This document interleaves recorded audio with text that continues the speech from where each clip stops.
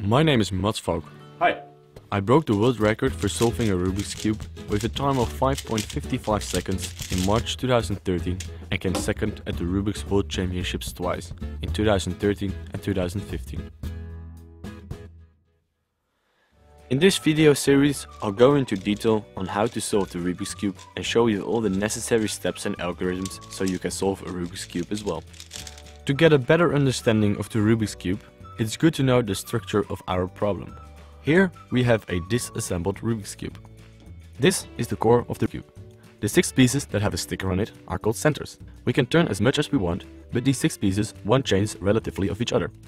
This means these six pieces define which color has to be on each side. This is an edge. Every edge has two colors and an edge is placed between two center pieces. Therefore, a Rubik's Cube has 12 edges. This is a corner. Every corner has three colors and a corner is placed between three edges.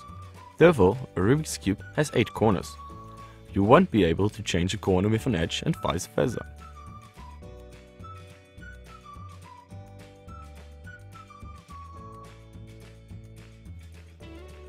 First, we make a cross on one side.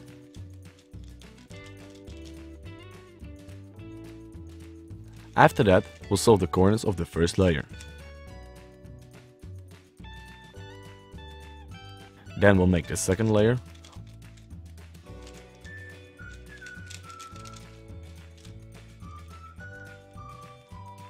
Orient the edges of the last layer. Orient the corners. Permute the corners.